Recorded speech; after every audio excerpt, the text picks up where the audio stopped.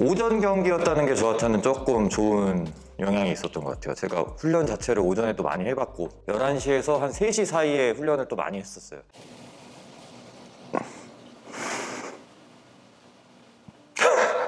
아유, 안녕하십니까. 데시벨 채널의 김승현입니다. 어제죠. 바로 어제 예, 김준호 클래식 regional에서 제가 영광스럽게도 men's physique overall 우승을 했고요. 이어진 pro qualifier에서는 조금 아쉽게도 4위를 기록을 했습니다. 슬램덩크가 생각이 나더라고요. 슬램덩크를 한 10번을 본 것 같은데 산왕을 잡고 거짓말처럼 예, 바로 패배를 해버린 국산처럼 기세가 좋았는데 체력적으로 너무 힘들더라고요. 아쉬운 성적을 예, 남기게 됐습니다. 일단 대회 리뷰 한번 해보려고 합니다.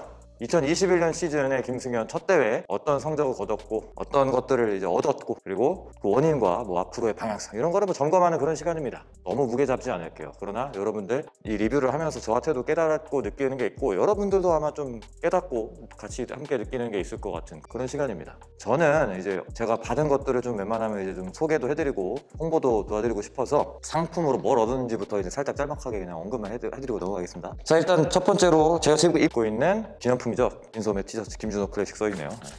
그리고 마스크 제가 쓰고 있는 뉴텍 써있죠 뉴텍 요건가? 네. 참 뉴텍 덕분에 대기장에서 pumping을 정말 잘 할 수 있었습니다 그리고 뭐 트로피죠 overall 트로피 큰 거 주셨습니다 김준호 선수를 본따 만든 트로피 영광입니다 저는 제가 참여했던 대회 중에 굉장히 좋은 인상으로 남을 것 같아요 tan도 받아주시고 이따 얘기할 건데 자 이렇게 금메달 이쁘게 이렇게 주셨습니다. 저희 도와주셨던 Zero to Hero에서 나온 킹보트. 약간 판이랑 얼굴 색깔이 안 맞잖아요. 어, 약간 어둡게 해주는 그런 메이크업 화장품입니다. 백석갈론에서 나온 shining 크림과 화이트 크림. 최은총 선수와 총총걸림이 무관중 대회였는데 밖에서 이렇게 이거 들고 피켓을 들고 응원을 해주셨습니다.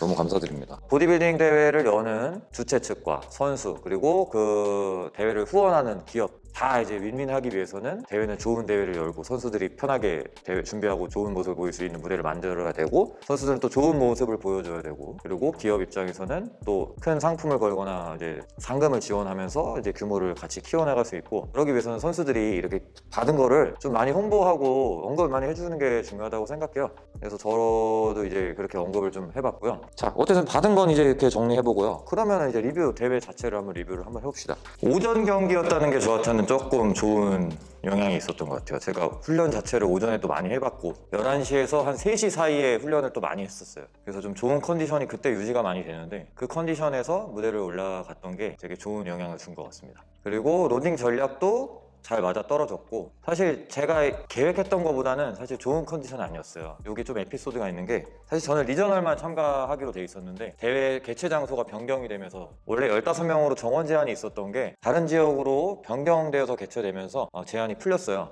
그래서 당일날 제가 pro qualifier를 신청을 하게 됐습니다. 어떻게 보면 좀 급하게 계획이 없었던 pro qualifier를 나간 건데 이제 9월에 있을 올림피아 아마추어를 원래 메인으로 잡았다 보니까 뭐 준비 상태가 그렇게 썩 좋은 상태는 아니었어요. 그렇다고 나쁘지도 않았습니다. 충분히 좋았는데 메인 대회까지 어쨌든 조금 더 조이기 위해서 약간 템포 조절을 하고 있던 와중이라 best of best는 아니었다. 그러나 물론 좋았다. 만족스러운 상태였지만 그래도 예상치 못했다 보니까 뭔가 이제 섭취 타이밍이나 뭐 퍼포먼스 이런 거가 조금 엇나간 게 없지 않아 있었습니다. 그러나 어쨌든 오전에 열린 regional 같은 경우는 굉장히 좋은 컨디션으로 올라갔고 뭐 이런 mindset이라든가 이런 게 다 좋았어요. 그래서 posing을 하는데도 제가 뭔가 기운이 느껴졌달까요? 뭔가 인지가 잘 됐습니다. 결과가 일단 말을 해주니까요. 어찌됐든 작년과 비교했을 때 후면의 발전이 엄청 드라마틱하진 않았지만 충분히 보였다. 그게 이제 저의 큰 수확일 것 같습니다. 그게 이제 좋은 성적으로 이어졌기 때문에 너무나 만족스러운 결과였습니다. 이어진 pro qualifier에서는 정말 진짜 제가 너무 이제 힘이 쭉 빠져버린 사- 바람에 좋은 컨디션을 끌어내질 못했어요. 어, 저는 이제 개인적인 생각입니다. natural 선수들과 이제 그렇지 않은 사람들 간의 뭐 차이를 굳이 찾는다면 pumping 했을 때 이제 간극이 더 크다. natural 선수들이 좀 더 크다라는 생각을 갖고 있는데 그게 pumping이 더 잘 된다는 얘기는 아니고요.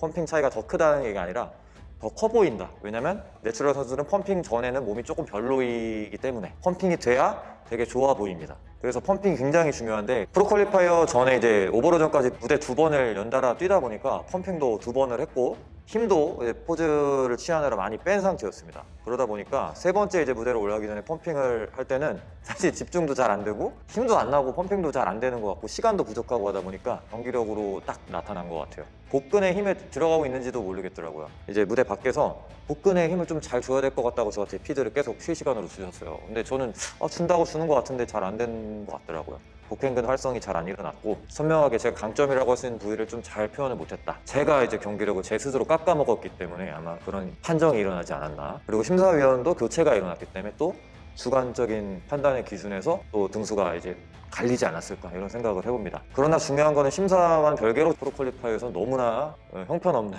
경기력을 보였다.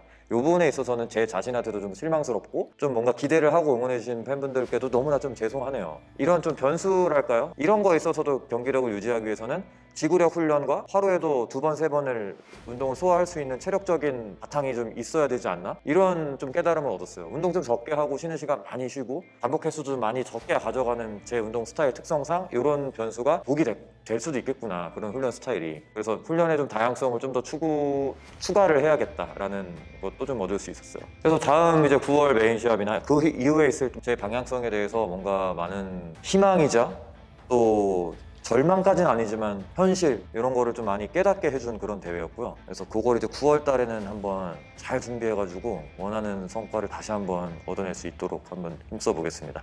응원해주신 분들 정말 너무 감사드리고 무엇보다도 힘든 상황에서도 대회를 좀 우여곡절 끝에 되게 좋은 무대를 마련해주신 김준호 클래식 주최 측과 어, 김준호 선수 그리고 함께 이제 출전한 동료 선수들 그리고 응원해주신 어, 관람해주신 팬분들 보디빌딩을 좋아하시는 팬분들 저를 응원해주시는 팬분들 너무나 감사드리고요. 여러분 구독자 여러분들도 마찬가지로 너무나 감사드립니다. 그리고 아, 무엇보다도 정말 감사드리는 네, 최은총 선수와 총총걸 너무나 감사드리며 두 분 아니었으면 정말로 어려웠을, 어려웠을 것 같아요. 이렇게 대회 김준호 클래식 예, 리뷰를 해봤고요. 아...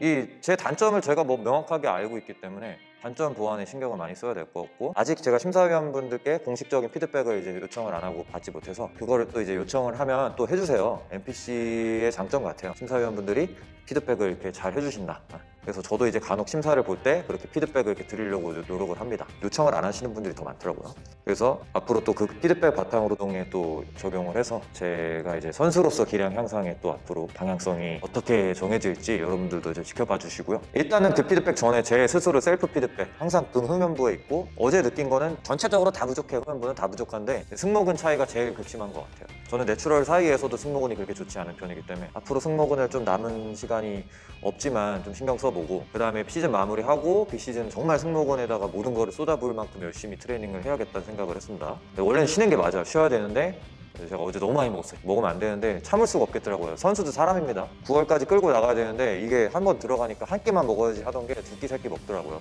어제 오후부터 6천, 7천 그렇게 먹은 것 같아요. 그래서 그거 다 태우려면 미친 듯이 이제 이번 주는 다시 운동량을 끌어올려야 될 것 같아서 조금 걱정입니다. 그러니까 이런 짓을 하지 마세요, 여러분들은. 대회 끝났다고 많이 먹지 말고 천천히. 참 그게 어려워요. 근데 말은 쉬워. 저도 못 지켜요. 그러니까 열심히 벌을 받도록 하겠습니다. 짭시다.